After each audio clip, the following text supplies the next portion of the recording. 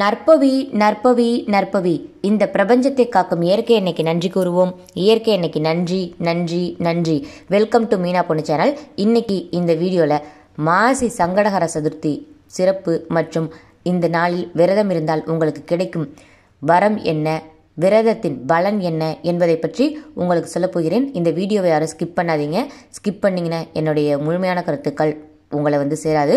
வருகின்ற பிப்ரவரி மாதம் ஞாயிற்றுக்கிழமை மாசி சங்கடகர சதுர்த்தி வருகின்றது.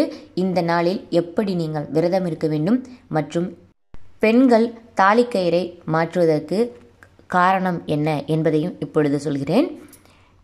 பொதுவாகவே வளர்பிறை சதுர்த்தியில் வானில் சந்திரனை பார்ப்பது அல்லது நான்காம் பிறையை பார்ப்பது கேடு விளைவிக்கும் என்பது பெரியவர்களின் வாக்கு. ஆனால் பௌர்ணமிக்கு பிறகு வரக்கூடிய தேய்பிரை சதுர்த்தி மிகவும் சிறப்பு வாய்ந்தது. இதுவே சங்கடகர சதுர்த்தி என்று அழைக்கப்படுகின்றது. சங்கட என்றால் துன்பம் ஹர என்றால் அழித்தல் துன்பங்களை அழிக்கும் விரதமே சங்கடகர சதுர்த்தி. பௌர்ணமிக்கு அடுத்ததாக நான்காம் நாள் சதுர்த்தி தீதியே மாத சங்கடகர சதுர்த்தி என்று அழைக்கப்படுகின்றது. நமக்கு வரும் சங்கடம் அனைத்தையும் நீக்கி சௌபாக்கியம் தரவல்லது சங்கடகர சதுர்த்தி விரதம். இந்த நாளில் புதுமனை புகுவிழா மற்றும் பெண்கள் புதிதாக தாலிக்கயிறு மாற்றுவது மிகவும் சிறந்த பலன்களை கொடுக்கும். மாசி மாதம் மந்திர உபதேசம் பெற உபநயம் செய்ய கலைகளில் தேர்ச்சி பெற புதிய கலைகளை கற்க இந்த மாதம் மிகவும் சிறப்பு வாய்ந்த மாதமாகும். இந்த மாதத்தில் வீடு குடிபுகுவது மிகவும் நல்லது. இந்த நாளில் நீங்கள் அதாவது சங்கடகர சதுர்த்தி தினத்தில் நீங்கள் வீட்டில் குடியேறினால் அவர்கள் வீடு வசந்தம் பொங்க நீண்ட காலங்கள் அவர்கள் அங்கு வாழ்வார்கள் என்று ஐதீகமாக உள்ளது. மாசியில் புது தாலிக்கயிறு மாற்றுவது மிகவும் விசேஷமாக பார்க்கப்படுகின்றது. திருமணங்கள் இந்த மாதத்தில் நடைபெற்றாலும் அது மிகவும் விசேஷமாக பார்க்கப்படுகின்றது.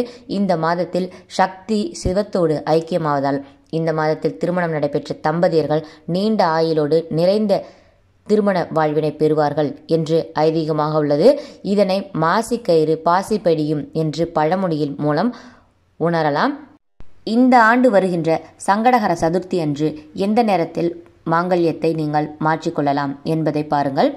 மாலை நேரத்தில் இரண்டு மணி முப்பத்தி ஆறு நிமிடங்களுக்கு மேல் நான்கு மணி முப்பது மணிக்குள் மஞ்சள் கயிறை மாற்றினால் சுமங்கலியாக வாழும் பாக்கியம் உங்களுக்கு கிடைக்கும் என்று கணிக்கப்பட்டுள்ளது.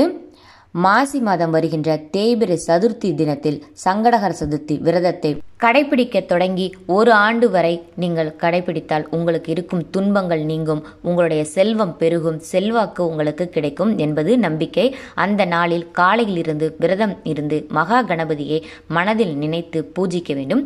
இரவு பூஜை முடித்த பின்பு விநாயகர் கோவிலில் கொடுக்கும் பிரசாதத்தை மட்டும் சாப்பிட்டு தனிமையில் நீங்கள் உறங்க வேண்டும். மாசியில் வருகின்ற சங்கடகர சதுர்த்தியில் விநாயக பெருமானை வழிபட எல்லா தோஷங்களும் நீங்கி நற்பேரினை பெறலாம் என்று கூறப்பட்டுள்ளது.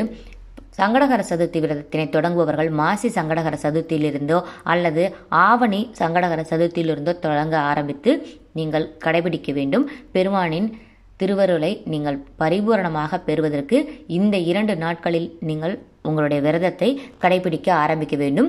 இந்த விரதத்தை விநாயகர் சதுர்த்திக்கு பிறகு வரும் சங்கடகர சதுர்த்தியில் இருந்து மகா சங்கடகர சதுர்த்தி வரை உறுதியுடன் கடைபிடித்தால் எல்லா நலன்களும் கிடைக்கும். இந்த சங்கடகர சதுர்த்தி விரதத்தை நீங்கள் மேற்கொண்டால் உங்களுக்கு இருக்கும் சனி தோஷம் விலகப் பெறுவீர்கள். சனி தோஷத்திற்கு உள்ளாகிறவர்கள் இந்த விரதத்தை அனுஷ்டித்தால் சனி பகவானால் ஏற்படும் பாதிப்புகள் குறையும் என்று கூறப்பட்டுள்ளது. இந்த விரதத்தை கடைபிடிப்பதால் நீண்ட நாட்களாக தீராமல் உள்ள நோய்கள் தீரும். மிக சிறப்பான கல்வி அறிவு மற்றும் புத்தி கூர்மை நீண்ட ஆயுள் நிலையான செல்வம்.